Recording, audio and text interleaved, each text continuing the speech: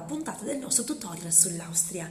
Anche questa puntata, come la scorsa, sarà dedicata al tema della costituzione di una GmbH in Austria. Abbiamo già visto la struttura dell'organo amministrativo e gli aspetti salienti relativi al capitale societario. Oggi vorrei parlarvi del professionista a cui ci si può rivolgere per costituire una GmbH. In particolare in Austria tale società può essere costituita alternativamente da notai o da avvocati. Entrambe queste categorie di professionisti hanno un sistema che permette loro l'accesso telematico al registro delle imprese, presso il quale verranno depositati tutti gli atti costitutivi delle GmbH, così come le relative istanze per le trascrizioni.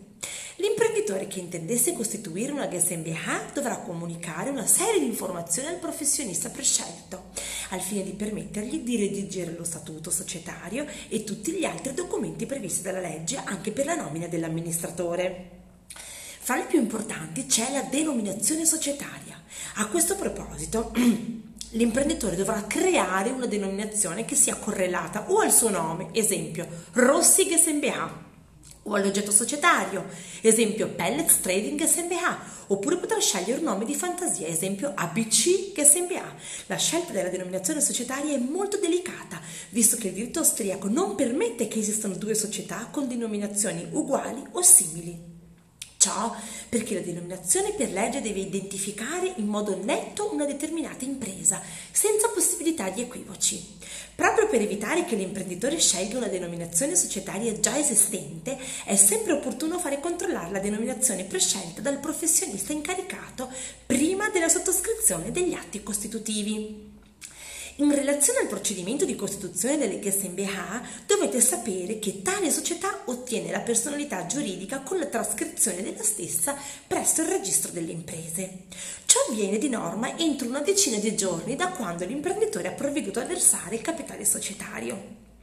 Solo dopo la trascrizione è possibile richiedere la partita IVA della società che di norma viene concessa entro due settimane dall'apposita istanza.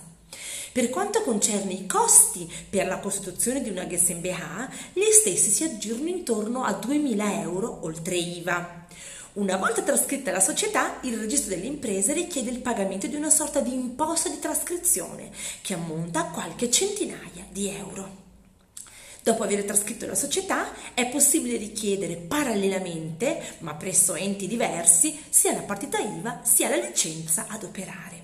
Su questo tema vi darò gli approfondimenti nel corso della prossima puntata, durante la quale risponderò anche ad alcune delle numerose email che mi sono pervenute. Cari saluti a tutti e alla prossima!